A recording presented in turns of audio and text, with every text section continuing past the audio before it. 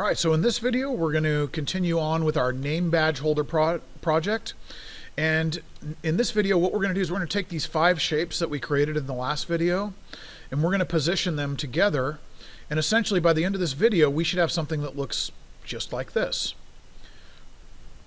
All right, so let's take a look at the first steps. So you can see, first of all, um, we're going to have a hole in the front of this we have the body here, and we have the card slot hole that goes right up here. In the front, we're going to put that uh, wedge. And then finally, we're going to position, the most difficult part is probably positioning this piece right here. All right, so let's do this.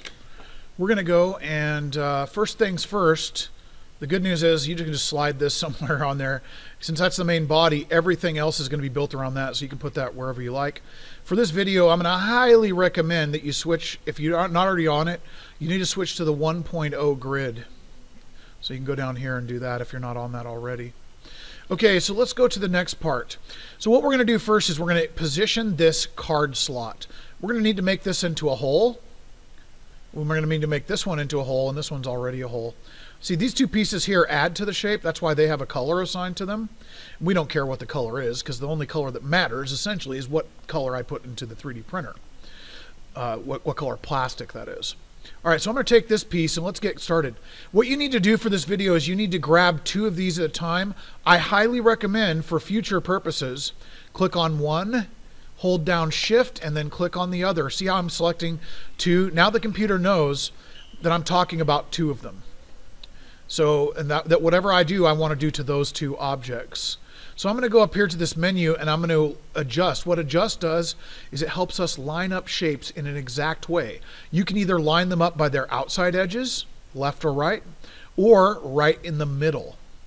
Okay, so we're going to go to adjust and we're going to align. Now let's think about where we need this. This card slot needs to be right in the middle across this direction. It needs to be right in the middle across this small six millimeter direction. But going up and down, our card cutout box needs to be flush with this top. Let's take a look at that on this drawing. If you look at the shape here in the middle, you notice how it's aligned up in the middle this way, this way, but going up and down vertically, it's aligned with the very top. It's right even. And there's a good reason for that. If we didn't do that, there would be no, no hole at the top to slide the card in. So it's got to go all the way up to the top. So let's go ahead and do that. So I've done the align tool. I've grabbed them both. I clicked adjust align. And now what I need to do is click the red shape so that the computer knows that I want the red shape to stay still because that's the main body. And then I'm going to go middle in this direction. You really got to zoom in for this one. Middle in this direction. And whoa, it disappeared, right? It's because it's all the way inside of this other shape. If you want to really see it, you can see it's lined up with the bottom here. And then I need to line it up at the top so that the cutout goes all the way to the top. So we have middle, middle, and top here. You see these three dots? If you want to go to top, middle, or lined up at the bottom. And then I just go dismiss this align tool. And there it is. Now, if you want to see this in a preview, you don't need to do this, but you can group it together. Grab them both and group them. And look at that. Now we have a little slot for our card holder. So that's where the card, the ID card is going to go. I'm going to ungroup those and we're going to go and do the next piece. Now this piece here, so you can see the problem is even when I had that uh, grouped together, you can't see the card. I mean, you could put it in there and it would hold the card okay, but it, you know no one could see it. And the whole point of ID badge, ID stands for identification, so people can see this and identify who's wearing it. So we need to just, uh, I'm going to ungroup that and let's get this other piece together uh, up in the front there. And this is our view hole. Now let's think about what this needs to be. We have this lined up. It goes all the way up to the top. It cuts the shape out to the top. It's in the middle, but it's actually lined up with the front edge. So let's go ahead and do this. So I'm going to go click the red shape, hold down shift and click this other shape, my view hole cutout, and I'm going to go to adjust align. Now let's think about it. We need it, we're going to click the red shape to make it hold still. I need to put this right in the middle as far as left and right goes. As far as the front and back goes, I need it lined up with the front edge. Again, if this was right in the middle, you wouldn't be able to see anything. It wouldn't cut it out. So the front edge, so it's middle here, front edge here, and then I need it all the way up to the top, up and down. And so now we have that lined up just right. So this is a good time to preview it. Grab it all, group it. Let's take a look and see what it looks like. Hey, that looks great. You can see that just like the finished product, you have a slot here. Now again, we don't have the rounded quarters yet, but we have the slot and we can see the name badge. So right now, if you just wanted something that hold, held a name badge, it'd be kind of boring, but you could print this and you could slide a name badge in there, but you wouldn't be able to pin it to your shirt very easily. Okay, this next one's real easy. Let's get that out of the way. I'm not even going to use the align tool for this. Just you can, if you have the one millimeter grid on and you haven't moved things around too much, you should be able to just put this on here. This needs to go flush. Now flush means up against and touching but not going through. And also flush means there's no space in the middle. See that? There's a space. I'm using the arrow keys to click that and get it exactly where I like. Look here, make sure it's lined up left and right. Should be even with this surface vertically. You shouldn't have to lift that up and down at all. Okay, so now I have that piece. The last piece is a little bit more difficult.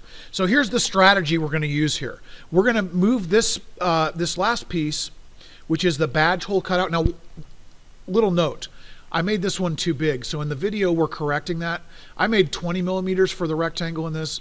It should have been 10. I made a mistake the first time when I made this, but it's good enough to show for the video. What we're going to do is we're going to take this piece and we're going to click, um, actually I'm going to just ungroup that again. And I'm going to click this and hold down shift and click the red part. And now I have both of those and we're going to adjust align. Now watch, what we're going to do is we're going to actually, the strategy we're going to use is we're going to position this hole all the way flush with the top and then we're going to drag it down four millimeters because that's what it needs to be. So click the red box to make sure that doesn't move. And we're going to go to the middle here, to the middle in this dimension, front and back, and then we're going to go all the way up to the top here. Now earlier when I'm, I changed my mind in the other video and said you should make this thing eight millimeters tall. The reason is, is if it's not eight millimeters tall, it won't stick out. And for this step, you need to click it to select it. So to do that, just click this little corner that, uh, or this edge that's hanging out there. And that's why we did that. That's why we made it eight millimeters tall. Because remember a hole, it doesn't matter if it goes too far. It just needs to cut through all the shape that we need it to. So I'm going to grab this thing, this little badge holder hole, and I'm going to move it down. Now watch what happens. When I click this arrow here, we grab it, we move it down one, two, three, four. It says negative four because we are going downwards in the down direction there. All right, perfect. Now that's that's the conclusion of this video, but before we go, let's take a look and see what this thing looks like. So right now, if you didn't want anything on the front, you wanted a really boring uh, badge holder that had sharp corners and would snag on your shirt and stuff. And that's why we're going to fix that later. But you could actually print this right now, and this would be a workable, usable badge holder, but it would be extremely boring. So in the next video, we're going to add some style to it by uh, chamfering and filleting some of the edges, which means kind of rounding them off and cutting off some of these sharp edges that stick out in our project. And then the final video, we're going to add, uh, add some of the text and the imported STL file that you modified from umagine.com.